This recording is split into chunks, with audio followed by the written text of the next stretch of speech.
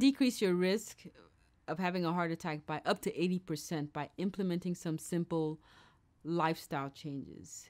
We say eating a heart healthy diet. These are usually foods that are rich in micronutrients, uh, in grains, uh, and olive oil.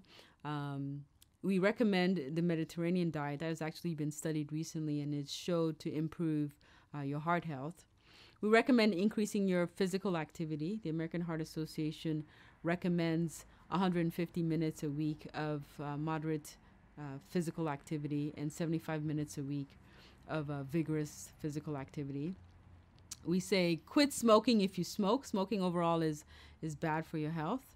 And we say alcohol in moderation. For a woman, that's one glass of wine a day, a five ounce glass of wine a day, um, or one beer uh, a day. You want to maintain a, a healthy weight. And if you have other risk factors like high blood pressure, diabetes, or high cholesterol, you should make sure you see your doctor on a regular basis and get these uh, ailments controlled.